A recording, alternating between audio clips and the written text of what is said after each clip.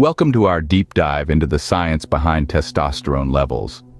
Today, we unravel the biological and scientific insights that govern this crucial hormone.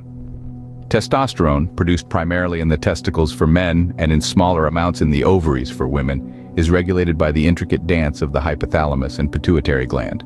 But what happens when there's an imbalance? Beyond its role in developing male sexual characteristics, testosterone influences bone mass, fat distribution, muscle size, and red blood cell production. It's a symphony of effects harmonized by this powerful hormone. As men age, a natural decline occurs. Lifestyle, diet, and underlying health conditions can also impact these levels. A phenomenon well documented in journals like the Journal of Clinical Endocrinology and AMP, metabolism. For those experiencing low testosterone, hope is not lost. NuMale Medical offers personalized testosterone replacement therapy, a beacon of renewal for many. Discover the transformation at numalemedical.com.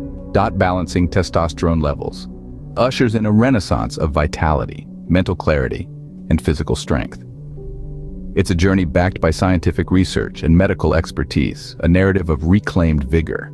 The science behind testosterone levels is a gateway to understanding holistic well-being, Join us in exploring this fascinating world where biology and quality of life converge. Your journey to optimal vitality begins today. Visit numalemedical.com to explore personalized TRT solutions, tailored to usher you into a world of enhanced well-being. The science of testosterone, demystified,